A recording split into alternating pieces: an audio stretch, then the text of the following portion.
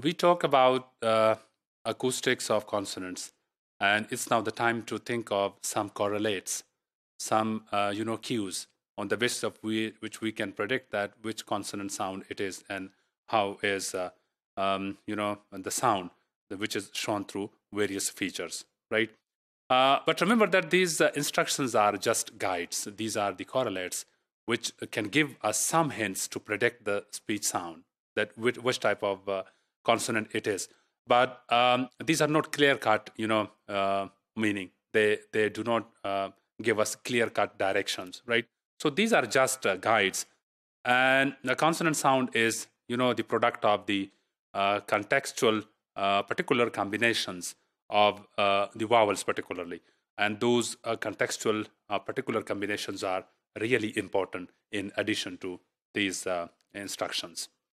Um, the neighboring vowels are important because vowels they uh, carry uh, very stable you know formants and they are uh, at times uh, uh, altered for some of those beside consonant sounds right which are attached to them. So that may also be you know giving us some hints.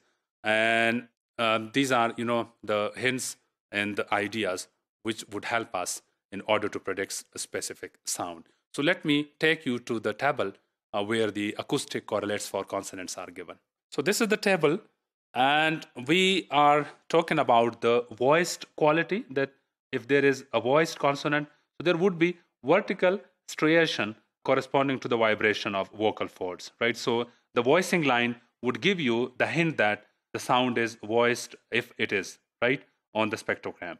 The bilabial feature is given.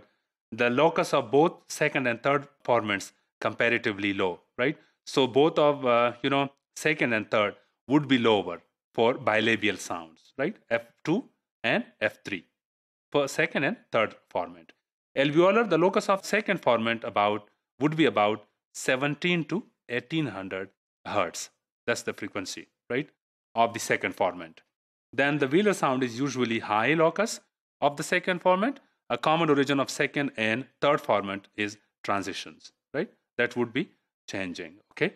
Retroflex, general lowering of the third and fourth formant, right? So if third and fourth are lowering for a retroflex sound, uh, that would be, you know, just the hint that the sound is retroflex. For stop, there would be gap because there is complete blockage, so there would be gap and followed by burst of noise for voiceless stop and sharp beginning of formant structure for voice stops. For fricative, there would be noise pattern, friction above the, you know, such like these, you know, such a noise type of thing would be there, right?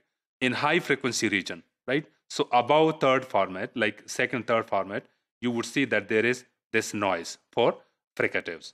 For nasal, since nasals uh, carry the structure which is similar to vowels, right? So nasal would have formants, and those formants would be like F1 would be 250, and F2 would be quite high, 2500.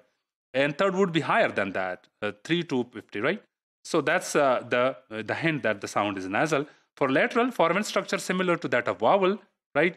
But with formants in neighborhood of 250, right? So you see, for nasal and lateral, F1 is similar, 250 and 250 but you would detect the difference between the nasal and lateral in the case of F2 because for nasal F2 is 2500 and for lateral it is 1200.